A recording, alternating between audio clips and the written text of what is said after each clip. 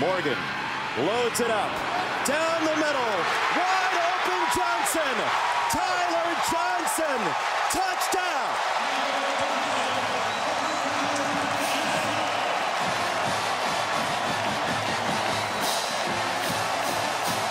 He torched Smoke Monday on a 73-yard touchdown. PJ Fleck and the Gophers 31-24 in the Outback Bowl upset. For the senior Tyler Johnson for the Golden Gophers, our Capital One player of the game, a Minnesota Bowl record. He's got more receiving touchdowns than anybody in Gopher history, Rob. We challenged every one of our players before. If you want to be a blue blood, you got to beat blue bloods. We used to be a blue blood back in the 30s, 40s, 50s, and 60s. We want to restore that tradition. Co Big Ten West champs, and then now out bowl back champs. And I think that's a credit to our players for all the things they've been through, and guys like Tyler Johnson who decided to stay for his senior year. Just means so much. So, um, very honored, very proud of our staff, very proud of our players and our university. And uh, I'll open up for questions. Well, first of all, uh, he's going to leave here the greatest receiver in the history of the University of Minnesota. Uh, and that's no disrespect to Ron Johnson. I think Ron would back me up. I think Eric Decker would back me up. He joins that list, and I think he's proven, whether it's touchdowns or yards or catches, that he's the ultimate wide receiver here. Uh, and I think this shows when, when young people make really smart decisions, well thought out, educated decisions of when to come back.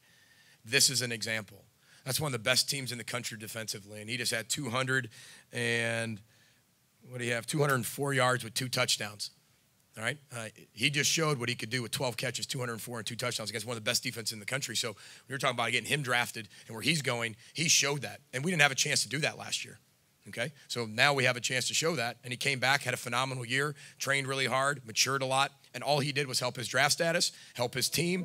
North Minneapolis should be very proud of him.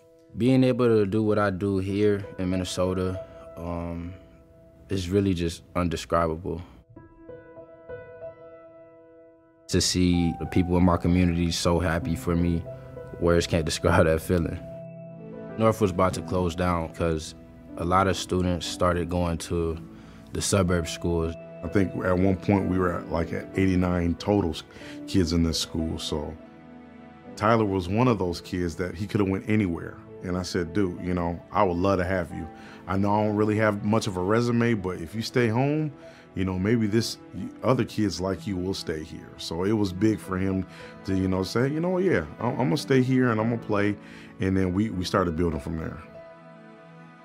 I feel that Tyler Johnson is a huge reason, not only to my success, but the rebuild and, and, and the excitement in this community. Because it gives every young man like Tyler Johnson in this area that came from here hope. Each year now it's like, well, hey, Tyler Johnson did it, why not me? You can be the next who you are because of what Tyler has started here. And we all are very proud of him and what he's brought to our university um, and the type of person he is, the type of man he is, and the type of pro he was. Um, and he's got his degree, and I'm very, very proud of him of where what he's going to do in the future. And like I said, I think he's the greatest receiver ever to play here.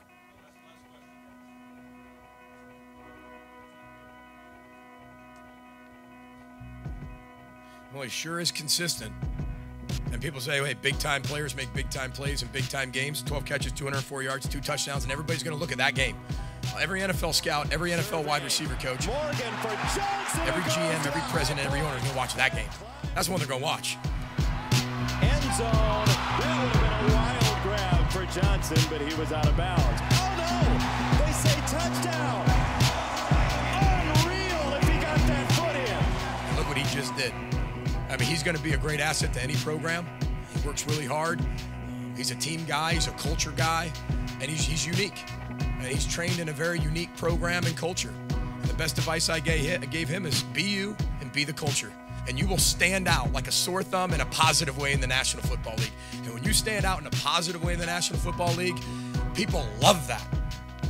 And it's like the more you do, or the better person you are, and the more team and culture guy you are, the longer those people stay in the NFL.